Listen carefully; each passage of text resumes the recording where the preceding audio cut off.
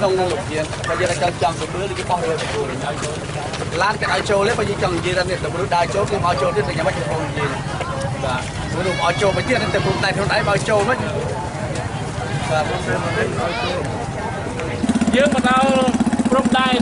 ដែនទលេមិញនគរបាលប្រាប់ថាហើយខួបពីនឹងបន្តិចគឺដែនទលេប្រទេសវៀតណាមនេះដែនទលេខាងយើង ហើយយើងមើលឃើញបង្គោលដែលគេទើបតែមកមកបោះយើងនឹងទៀងទាត់លើផែនទីតាមឯកសាររបស់យើងឯកសារភូមិសាស្ត្រប្រវត្តិសាស្ត្រឯកសារផ្លូវច្បាប់ថាតើ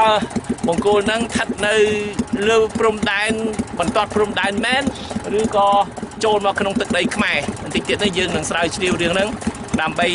ការពារផលប្រយោជន៍ជាតិយើងបរណភាពទឹកដីប្រទេសកម្ពុជាឲ្យបានត្រឹមត្រូវឥឡូវនេះយើងឃើញទូកគេដឹក អីវ៉ាន់ចេញចូលពីប្រទេសកម្ពុជាទៅប្រទេសវៀតណាមមានអីវ៉ាន់ពីប្រទេសវៀតណាមមកប្រទេសកម្ពុជា យើងឃើញថានេះជាចរន្តពាណិជ្ជកម្មនៅលើទូកនេះដែលមកពីប្រទេសវៀតណាមយើងឃើញមាននាំអំបិលនាំដែកនាំសដែកនាំខ្សែហើយខាងនោះនាំពីប្រទេសកម្ពុជាទៅប្រទេសវៀតណាមនាំស្រូវយកទៅលក់គេមិនចង់ឲ្យខ្ញុំទៅមើលព្រំដែនខាងដីគោកខ្ញុំទៅខាងទលេ